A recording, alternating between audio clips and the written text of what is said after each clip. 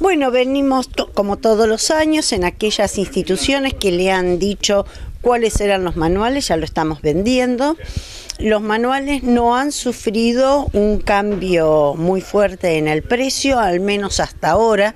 Por eso nosotros les sugerimos a los papás que puedan, que se acerquen y ya vayan haciendo la compra, porque estas cosas no avisan y aumentan. Entonces, eh, en este momento, por ejemplo, un manual con las cuatro, cuatro áreas, matemáticas, naturales, sociales y prácticas del lenguaje, está en aproximadamente 700 pesos.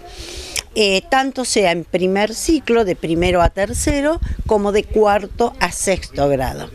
Eh, bueno, esta posibilidad eh, que tienen los docentes de pedir las cuatro áreas juntas, en algunos casos, sobre todo en segundo ciclo, se tienen que unir porque algunas docentes dan sociales, otras naturales, otra matemática y a veces un manual sí se adapta al diseño curricular en un área y otros no.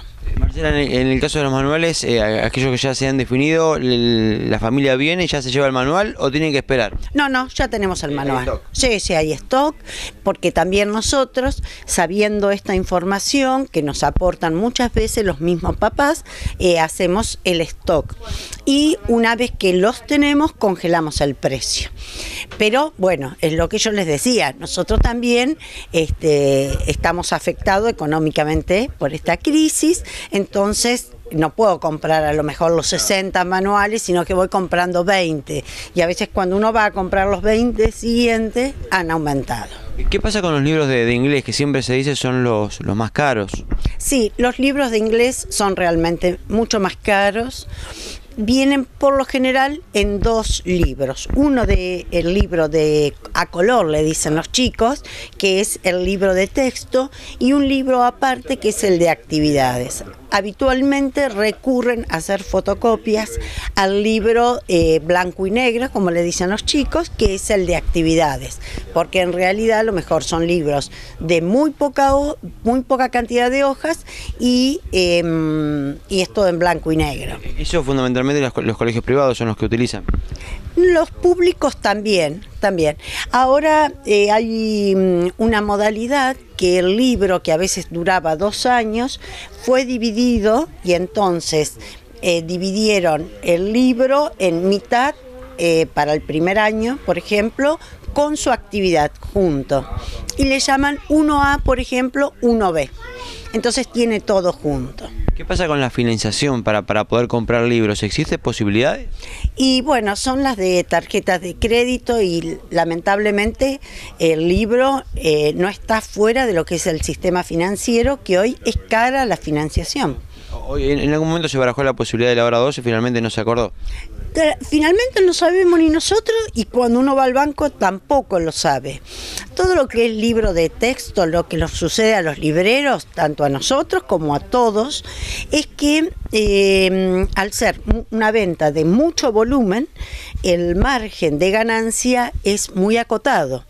Obviamente en el volumen nos es muy beneficiosa la venta, pero eh, no podemos hacer mucho juego porque se pierde. Estamos hablando de un beneficio para el librero de un 14%, 15, 18, De que después hay que salir a pagar impuestos y todo lo que corresponde.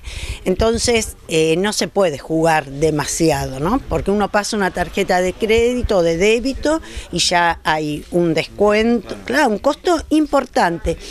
La gente no tiene por qué saberlo eso y yo entiendo que viene y presiona por descuentos, por cosas, pero mm, a veces hay que ser realista. En otros artículos mucha gente eleva el precio y después te lo doy a pagar en no sé cuántas cuotas.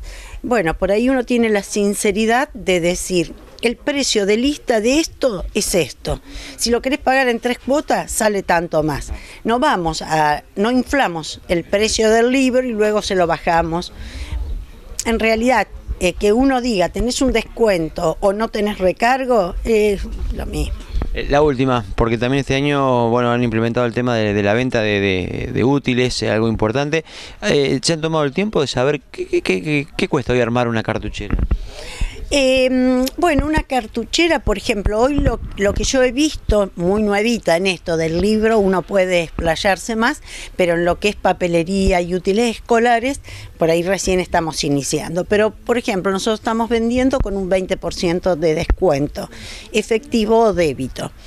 Eh, y por ejemplo, los lápices Bic que tienen 12 lápices de colores con 3 o 4 lápices según las cajitas eh, negro de regalo, eh, sale 105 pesos.